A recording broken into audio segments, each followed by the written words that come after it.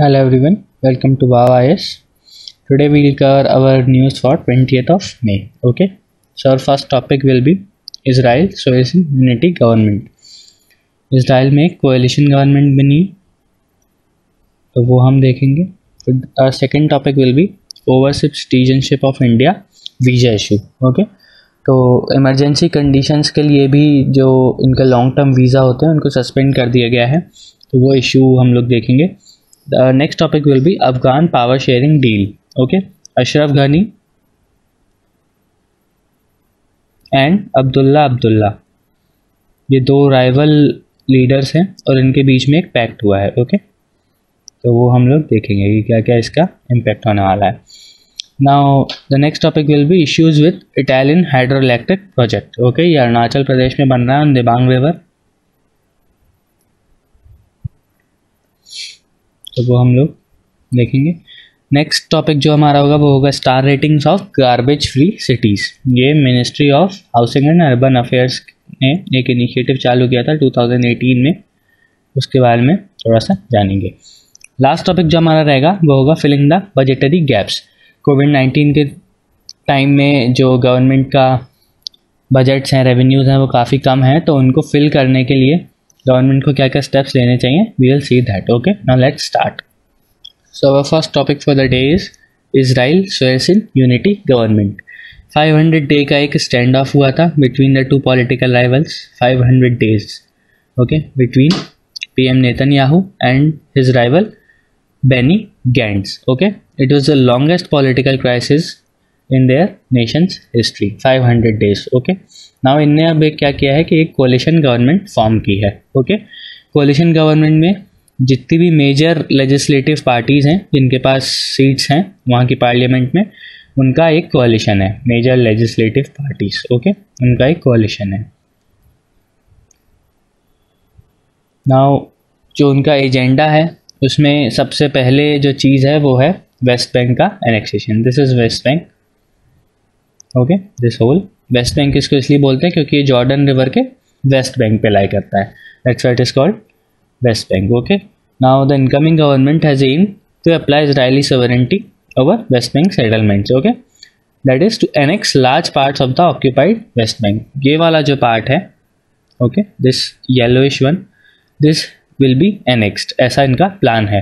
अब एनेक्सेशन आप किसी भी चीज़ का करेंगे इलीगली तो obviously this will cause furore गदर मचने वाली इंटरनेशनल फोरा पे ओके तो यही इस न्यूज़ का रेलिवेंस है। Now will move forward next topic जो है हमारा, वो है overseas citizenship of India's visa issue okay तो टेम्पोररी सस्पेंशन कर दिया है लॉन्ग टर्म वीज़ास का ओ सी आई सिटीजन्स का ओके ओ सी आई जो कार्ड होल्डर्स होते हैं, उनका वीज़ा को सस्पेंड कर दिया गया है। तो वो इमरजेंसी कंडीशन में भी इंडिया को विज़िट नहीं कर सकते हैं okay now we will first see what are overseas citizens of India okay तो वो citizen the citizens of India on और after twenty six one nineteen fifty छब्बीस जनवरी उन्नीस सौ पचास। इसके पहले और अगर इसके बाद आप इंडिया के सिटीजन थे तो you are eligible for O C I citizenship also the one who is a child और grandchild of such person among other eligibility criteria, is also eligible for OCI card overseas citizenship of India card, okay? Now, section 7a of the OCI card rules, what it states it states that a person is not eligible for the OCI card if he, his parents or grandparents have ever been a citizen of Pakistan or Bangladesh. अगर किसी के parents या parents Pakistan या बांग्लादेश के citizens रहे हैं पहले तो वो ओ सी आई कार्ड होल्ड नहीं कर सकते ओके तो some of the benefits of P I O that is the person of Indian origin and O C I card holders were different दो हज़ार पंद्रह में गवर्नमेंट ने क्या किया? ये दोनों कार्ड्स को मर्ज कर दिया ओके दोनों की जो प्रिवलेजेस थे, दोनों के जो बेनिफिट्स थे, उनको मर्ज कर दिया। Now these are one okay now what are the privileges to an OCI card holder so they can enter India multiple times काफ़ी बार ये इंडिया आ सकते हैं okay they have a multipurpose lifelong visa lifelong visa होता है इनके पास। And they are exempt from registering with foreigners regional registration office कोई भी अगर फॉरनर आता है कंट्री में तो उसको पीरियोडिक टाइम पर टाइम पर एफ़ आर आर ओ में रजिस्ट्रेशन करवाना पड़ता है। तो बट जो ओ सी आई सिटीजन्स होते हैं, वो इस कंडीशन से एग्जाम्प्ट होते हैं। उनको ये सब नहीं करवाना पड़ता। Also after five years of O C I registration and individual is eligible to apply for Indian citizenship आप इंडियन सिटीजनशिप के लिए अप्लाई कर सकते हैं इसके बेसिस पे। ना O C I card holders can open special bank accounts in India ये बैंक अकाउंट्स खोल सकते हैं और non farm property non farm property purchase कर सकते हैं okay and they can also apply for driver's licence and PAN card एक जो कंडीशन है, वो ये है कि ये वोटिंग राइट्स इनके पास नहीं होते हैं और एक गवर्नमेंट जॉब होल्ड नहीं कर सकते हैं ऑल्सो ये फार्म प्रॉपर्टी नहीं खरीद सकते हैं ओके एग्रीकल्चरल लैंड जो होता है they can not purchase this okay now we will move forward to our next topic now जो नेक्स्ट टॉपिक है, वो है अफगान पावर शेयरिंग डील इसके बीच में इसके तहत? Ashraf Ghani and Abdullah Abdullah as I already told you इन दोनों के बीच एक पावर शेयरिंग डील हुई है। हुआ क्या था कि अफ़गानिस्तान में इलेक्शंस हुए थे और Ashraf Ghani got 50 percent of the votes लेकिन जो इलेक्शन कमीशन है अफ़गानिस्तान की, उसने ये बोला कि जो वोटिंग हुई है, वो काफ़ी अनसेटिस्फैक्ट्री रही है। एक तो 50 परसेंट ही वोटिंग हुई थी, दूसरा उसमें भी काफ़ी सारी इरेगुलरिटीज़ पाई गई थी ओके तो अब इनके बीच एक पावर शेयरिंग डील हुई है। इन दोनों ने एक आपस में ही खुद को प्रेसिडेंट घोषित कर दिया था। अशरफ घानी ने भी और अब्दुल्ला अब्दुल्ला ने भी एक अलग अलग सेरेमनीज में। उसके बाद यूएस ने इनको एक वार्निंग दी कि अगर ये अपना पॉलिटिकल जो डिफरेंस है वो सॉर्ट आउट नहीं करते हैं तो जो डॉलर वन बिलियन का जो असिस्टेंस देता है यूएस वो इनका रोक देगा। तो that's why they have reached out for a conciliation process okay अब इनकी आपस में गवर्नमेंट बनी है तो जो अशरफ घानी है, वो प्रेसिडेंट रहने वाले हैं और जो अब्दुल्ला अब्दुल्ला हैं he will head the national reconciliation high council okay तो ये इनकी पावर डील है। Now will move forward now next topic is issues with Etalin hydro electric project okay so ये हाइड्रो इलेक्ट्रिक प्रोजेक्ट जो है, वो दिबांग वैली में है दिबांग रिवर पे है okay and it is a run of the river scheme run of the river scheme मतलब कोई भी बराज या डैम कंस्ट्रक्शन पानी को रोकने के लिए नहीं होगा। पानी जैसा बह रहा है वैसे ही बह के चलता जाएगा। Okay? Now these are on the river Dri and Tangon ये दिबांग रिवर की ट्रिब्यूटरीज हैं। इनके बीच में ये प्रोजेक्ट लोकेटेड है। And it is the largest of the hydro electric projects being currently developed in India largest of the hydro electric projects okay the project is being executed by Etalin hydro electric power company which is a joint venture अब ये joint venture किस किस के बीच है? तो Jindal power limited and hydro power development corporation of Arunachal Pradesh ये चीज़ आपको याद रखनी है कि this is a joint venture between Jindal power limited and hydro power development corporation of Arunachal Pradesh अब इशू क्या है? कि जो कंजर्वेशनिस्ट हैं they have written to the environment ministry seeking rejection of approved project okay इनने बोला है कि जो इम्पैक्ट एनवायरमेंट इम्पैक्ट असेसमेंट हुआ था A I that was flawed और इसको रिजेक्ट कर देना चाहिए विदड्रॉ करना चाहिए इस प्रोजेक्ट को।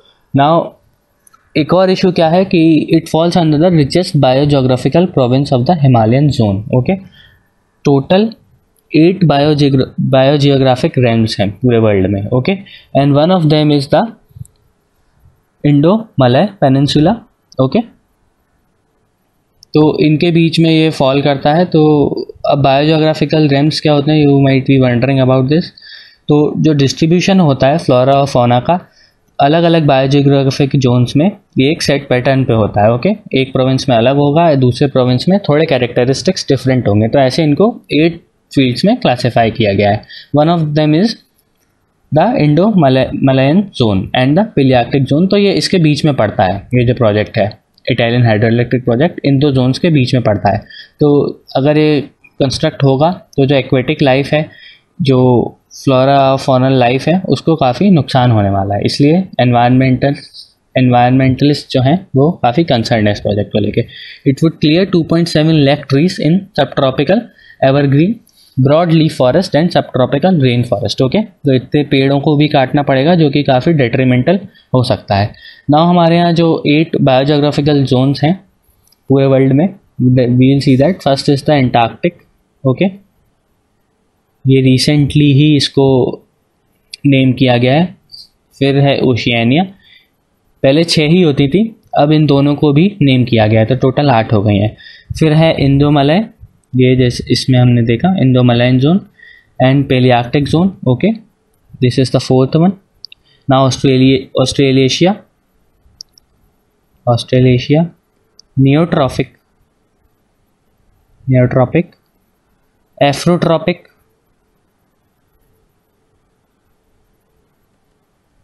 nearctic and palearctic और इंडोमलायन जोन तो हम देख ही चुके हैं ओके तो these are eight biogeographical range now we'll move forward अगला जो टॉपिक है हमारा, वो है star ratings of garbage free cities so ये जो इनिशिएटिव है, वो ministry of housing and urban affairs MoHUA ने लॉन्च किया था। This was launch in January 2018 okay और इसका असेसमेंट ईयर का 2019-20 के लिए रिपोर्ट्स आ गई हैं okay that's why we are discussing this So what is it? It is an institutional mechanism for cities to achieve garbage free status, okay, and to motivate cities to achieve higher degrees of cleanliness.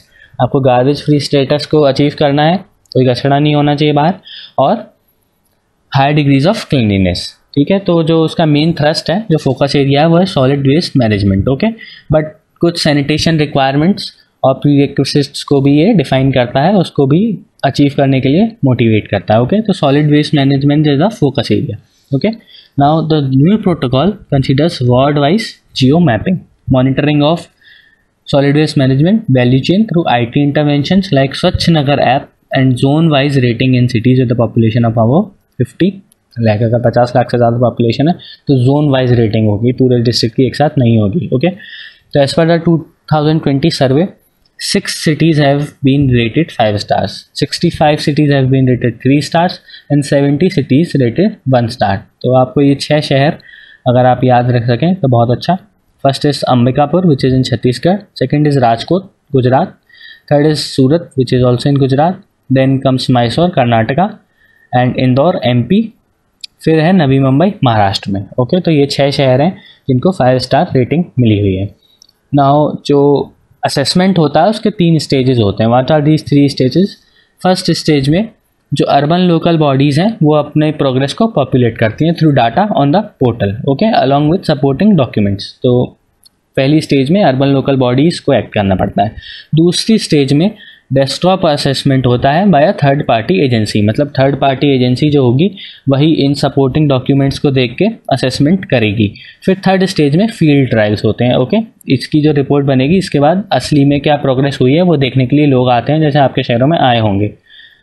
तो teams of the cities that clear the desktop assessment are then verified through independent field level observation okay तो this was our news now we'll move for to our next news so last topic for the day is filling the budgetary gaps okay revenues काफ़ी कम हो चुके हैं we all no this और सरकार का expenditure जो है, वो बढ़ता जा रहा है। तो how we will fill this budgetary gap तो क्या क्या ऑप्शंस हैं गवर्नमेंट के पास? First of all is the privatisation okay second is increasing tax third is borrowing money and the fourth is foreign reserve and other option okay now finance minister ने कहा है कि जो privatisation which is a policy that has gain momentum in the last budget would now be the order of the day okay सबसे पहले हम देखेंगे कि प्राइवेटाइजेशन से कैसे हम रेवेन्यूज बढ़ा सकते हैं। तो ये फाइनेंस मिनिस्टर का स्टेटमेंट था। ना उन्होंने ये भी बोला है कि किसी भी एक पर्टिकुलर सेक्टर में there will be no more than four P S Es किसी भी पर्टिकुलर स्ट्रेटेजिक सेक्टर में there will no be not be more than four P now centre का जो टारगेट है, वो है 2.1 लाख करोड़ का इस फ़िज़िकल ईयर में okay now what is the progress being made so far तो सबसे पहले गवर्नमेंट ने अप्रूव कर दिया है B P C L and shipping corporation of India का privatisation okay now it is estimated that B P C L S C N CONCOR which is the container corporation of India would fetch अगर इसके साथ हमारा air India भी बिक जाता है तो sum will total two one lakh five thousand crore okay इतना हमारा जो मनी है, आ जाएगा. अभी तक ये था कि ये ईयर एंड में ये सारी चीज़ें करनी थी बट अब थ्रस्ट इस पर डाला जा रहा है कि ये जल्दी किया जाए, क्योंकि पैसे की कमी है.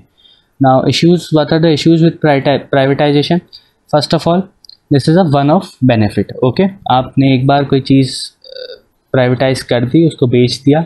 तो जो पैसा आने वाला है, वो एक ही बार आएगा, आपका बार बार नहीं आएगा। तो it is a one of benefit and generally जो प्रॉफिट मेकिंग यूनिट्स होती हैं, वही अच्छे दाम पे बिकती हैं।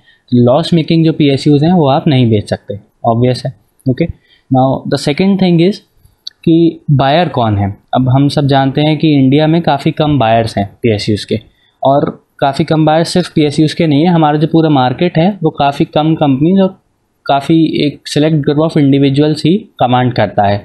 तो ये डर है कि भाई क्वासी मोनोपोलीज बनने का एक कंसर्न है कि अगर यही लोग मार्केट को डोमिनेट करने लग जाएँगे तो क्वासी मोनोपोलीज बन जाएँगी। ऑलिगार्की जिनको कहते हैं कि काफ़ी कम लोग एक पूरे मार्केट को डोमिनेट कर रहे हैं।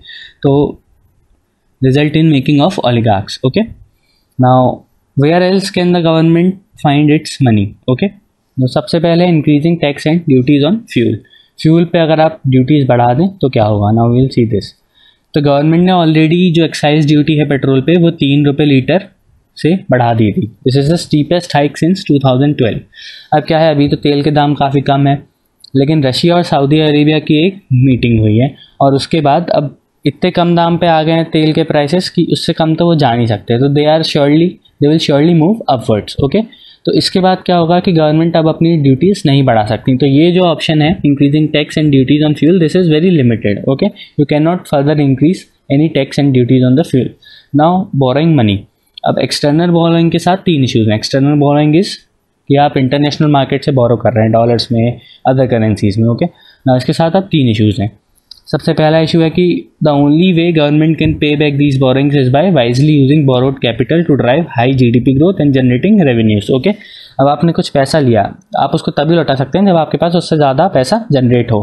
तो अगर आप उसको high G GDP worth projects में इन्वेस्ट करेंगे तो आपके पास ज़्यादा पैसा होगा, लेकिन अभी क्या हो रहा है? अभी तो कोविड नाइन्टीन पेंडेमिक चल रहा है इंडिया में तो ऐसा कुछ भी होने की संभावनाएँ काफ़ी कम है। It is very unlikely to happen okay आप कैपिटल प्रोजेक्ट्स में इन्वेस्ट काफ़ी कम स्कोप है आपका उन प्रोजेक्ट्स में इन्वेस्ट करने के लिए। नाउ जो रुपी है it is as its at its lowest and any more devaluation will make it harder for the government to pay back its debt ठीक है? आप फॉरेन करेंसीज में लेते हैं, अगर फॉरेन करेंसीज अप्रिशिएट हो रही हैं, आपका मनी डिवेल्यू हो रहा है डिप्रिशिएट हो रहा है तो ऑब्वियस है कि आपको एक डॉलर के ज़्यादा पैसे चुकाने पड़ेंगे तो debt will be very hard now also जो एक्सटर्नल बोरोइंग्स हैं, जो must be paid back in the currency as we have discuss okay now तीसरा ऑप्शन इनको लौटाने का क्या है कि एक्सपोर्ट्स आपके ज़्यादा हो रहे हैं फॉरेन और गोल्ड रिज़र्व आपके पास काफ़ी सारे हैं। तो एक्सपोर्ट तो हमारा कम हो रहा है। वी ऑल नो दैट कि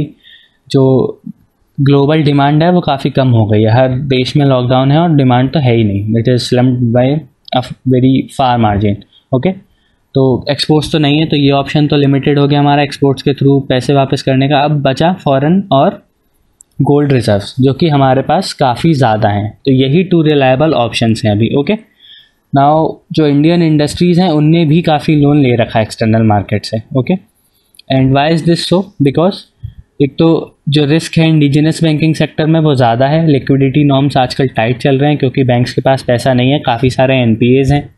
तो बैंक्स के पास पैसा बचा ही नहीं है फर्दर लैंड करने के लिए। इसलिए कंपनीज़ को मजबूर होना पड़ा है कि वो एक्सटर्नल मार्केट से बोरो करें।